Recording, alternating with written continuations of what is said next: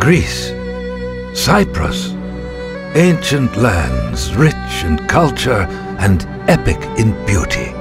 Saints of old stepped upon these sandy shores.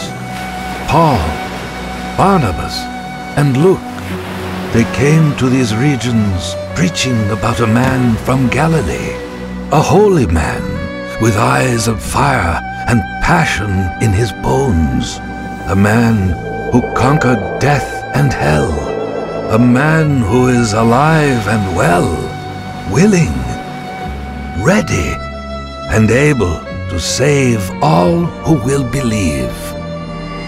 Two thousand years later, Greece lies in economic and spiritual turmoil. But there is hope. With the same aim as the first century church, the Hellenic Gospel Fund exists to re-energize Greece and Cyprus with the gospel of Christ.